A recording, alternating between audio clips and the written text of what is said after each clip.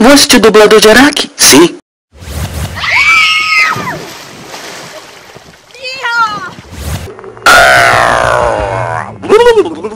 Você pôs tudo a perder, Homem-Fera. Esqueleto vai cobrar de você. Vai cobrar. Como pode você falar assim? Vai tomar no teu cu, filha da puta.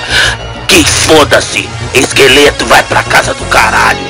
Ele que vai se fuder, aquele cara de osso, aquele ossudo dos infernos. Vai tomar no cu, filha da puta. Vai tomar no cu, filha da puta. Como pode falar assim comigo? Falar?